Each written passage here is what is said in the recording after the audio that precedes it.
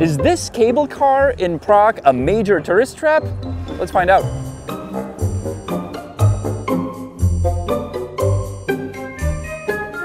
We're in a beautiful park in uh, Prague, Czech Republic that is called Petřín and as you can see it's a hill with a beautiful lookout tower at the top, the little Eiffel Tower called the Petřín Tower. Now if you want to go up you can obviously walk up the hill with beautiful views along the way or you can use the cable car which by the way is one of the most popular things there is in Prague. More than 2 million visitors annually.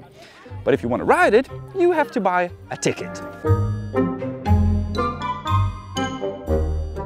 Now, buying a ticket may be easy if you know what you're doing, but if you're a tourist or a foreigner, it may be a little difficult, but we're trying to make it as easy as possible, right? We get this machine, it speaks English, it takes cards, it will give you this lovely ticket that then you put into that machine over there. Just to be clear, what I'm pointing at, it's this machine, not this machine. Where you stamp it and validate it and make it valid. Now again to be clear, you only stamp the ticket once. If you've already stamped it before, you do not restamp it. That would make it invalid. And if you think nobody would make such a mistake, uh, watch this girl. She just did. Uh, so did the other girls in her group. All these girls in front of me, they had a three-day ticket, which means they could go for free on the funicular, but you can only validate it once, and they validated it again, therefore making the ticket invalid. Now you can also use this machine, different machine, which will give you a different ticket that you don't need to validate. It's already validated. Also, I forgot to mention, you must use it right away. In other words, you cannot buy the ticket, wait around for five minutes, and then use it. It would be invalid. So it can get a little confusing if you're a foreigner. That's why there's always a worker uh, working at the cable car that helps tourists and checks their tickets and if they need help purchasing the ticket, they're super helpful. I've been observing it here for a month and they're great. Like this worker of the public transport. He notices a tourist that forgot or didn't know he should stamp the ticket, so he stamped it for him. But sometimes they're not here to help the tourists. I mean, they kind of stand around and if the tourists asks, they will help, but they don't uh, show up to help. Okay, so we understand that for some people the system may be confusing, but uh, there's the person that will help you uh, and you make it to the top, right? But then some tourists raid this place, uh, the station, with very bad reviews and they refer to it as a scam and a tourist trap. Well, why would they do that? This is not a tourist trap. Well, they do that because once they reach the top, sometimes there is a ticket inspector.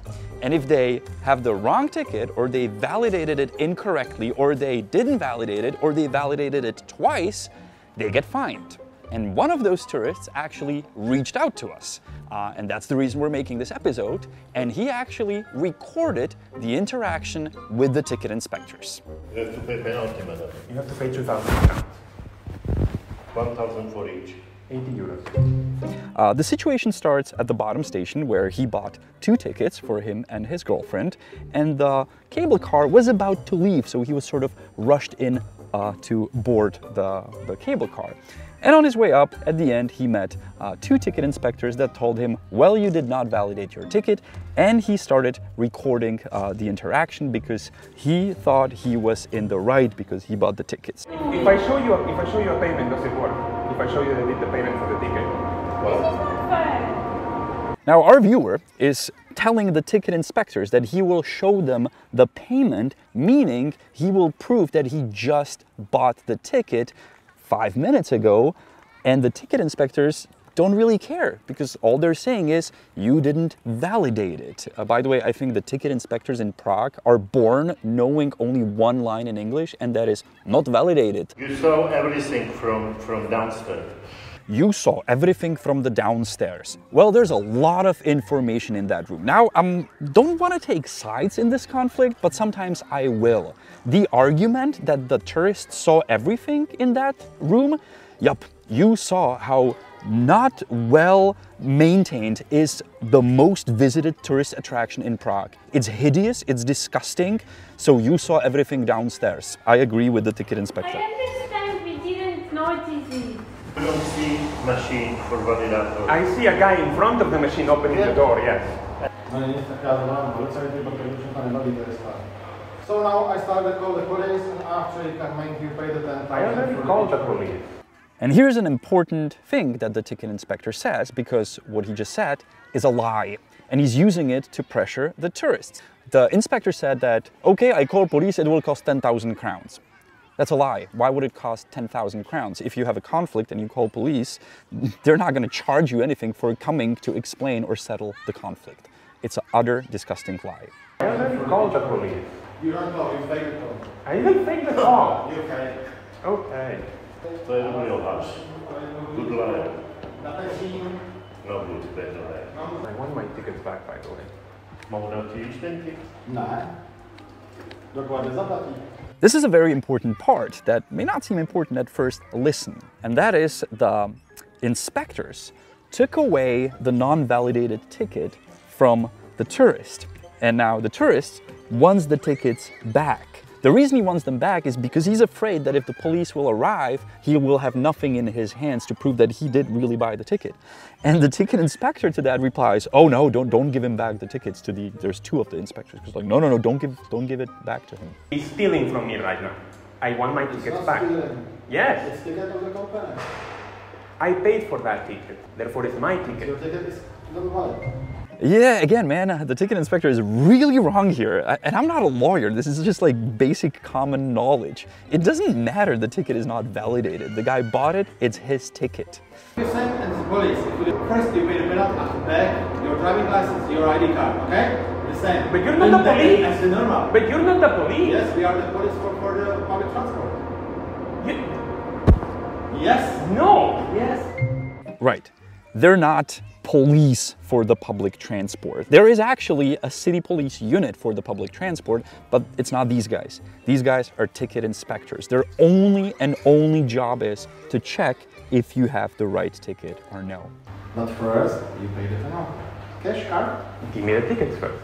Cash card. You Give me the tickets first. We're running in circles here, uh, so let's wait for the cops. Let's see what happens when they arrive. Tady pán asi nespíš. My jsme nevolali, tak jedině tady pán asi si volal. Uh, both of the ticket inspectors are surprised that a police arrived to the scene and they're like, oh, well, we didn't call you. Well, I guess the guy called you, so I guess he didn't fake the call. So maybe you should not have called him a liar? Okay. Maybe you should apologize? Nah. No, nechtějí zaplatit, protože nemají svaký nic dobrý. And you pay? I can show you the. The driver was in front of the machine, blocking the machine from being ticketed and basically telling us you need to come that we are leaving. Now, I was not present at the situation, so I have no idea what it looked like, what the scene looked like at the ticket machine. I've been coming here for the last month and there was always people helping the tourists. So in this case, it's hard for me to believe this story that the driver or anybody working here would block the machine to stamp the ticket. Uh, but I was once told by someone here that when the ticket inspectors are here, there's nobody helping the tourists at the bottom of the hill. To, to je jako u nich je to pravidlo, že oni říkají, že tam lidi Že tam vždycky nežene. naplačují, ale to není pravda. A tam mi nejde ten strojek ještě jako, že člověk projde tím, tím vstupem. Ne, tam, tam jsou dva, tak tam jsou A on říká, že on on řidič-. Já vím, vím, to znám. řidič nikam nešoupe. A on řidič říká, že on tomu nechce odpustit. Není to pravda. Prostě utíká. Prostě on stačí utíkat a už tady dělat fejkovní hovory, takže jako pan už má jako problém se vším. jo. The way the ticket inspectors are criminalizing this guy who bought two tickets. He has them in his hands. He has receipts for buying the tickets. The tickets that are only valid for the cable car to go to the top. It's ridiculous. I'm sorry. By the way, here's the bank statement from the tourist, and you can clearly see the time when he purchased the two tickets. And then, 30 minutes later, they made him pay the fine. Another obstacle that we create uh, to the visitors of this uh, cable car is this line. Yes, it is created by the tourists, they stand in it, looks long, but all these people will fit easily in one car. But if they're here, where do they buy the ticket? Well, to buy the ticket, you need to enter that place, which is actually quite empty in that area, but the door gets clogged up. So if you're here and you want to buy the ticket, you sort of have to cut the line, and the people in the door are not happy when you squeeze around them. So it creates this bizarre uh, place. And on top of that, and this is actually true, that black car that is parked here, It's been sitting here for two years. it's a rack car. so is the funicular a tourist trap? No, it is not. It's a beautiful uh, piece of engineering with great people working around it. But when some few ticket inspectors decide to turn it into a tourist trap, they're quite successful at it. Also, this is most likely the last time you're seeing this cable car uh, because it's going to go through renovation of the stations and also there will be new cars. So there is some hope that when we renovate these uh, places, we can change maybe the system of how people get in so we don't send them into a trap.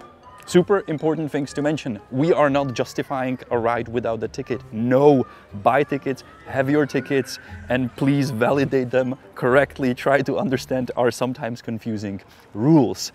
Second thing, not all tickets inspectors are crooks like the ones uh, in this recording. Actually, most of the ones that we meet on daily basis are very nice, even towards tourists. And if there's a tourist that didn't validate the ticket the correct way, the inspector will help him, validate it for him, and send him on a good way.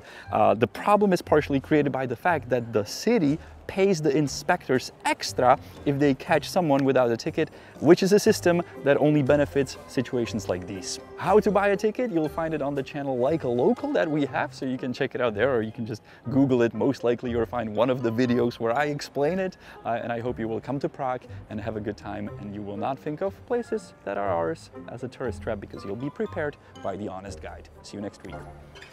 And in the end, I'm gonna teach you a Czech word uh, regarding to the topic, and that is valid, uh, means platný. If something is valid, it's platný. So if the ticket is valid, it's platný lístek, valid ticket. And if it's not valid ticket, it's neplatný lístek. Not valid, neplatný.